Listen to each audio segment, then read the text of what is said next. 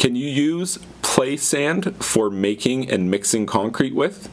Well, I mean you can, and you'll end up with something that looks a lot like concrete. And it might even be good enough, depending what your application is.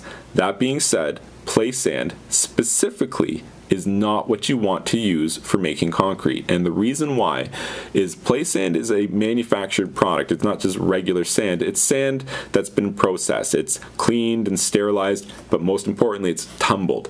Tumbling takes all the sharp edges off of the sand. Doesn't that sound good for play sand? You surely want your kids to be able to play in sand, which is soft and comfortable.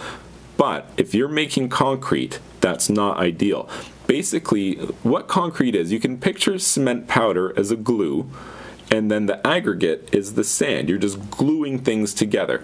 So let's picture sand as looking like a, like a, a, cube, like a Rubik's cube. If you were to take glue or Portland and glue a bunch of Rubik's cubes together. You can kind of picture how that would go. Hey, take a bunch of it, put it all together, be pretty strong, right? Okay, now picture this. What if instead of cubes, you had balls, like tennis balls or something like that, and you tried to glue them all together?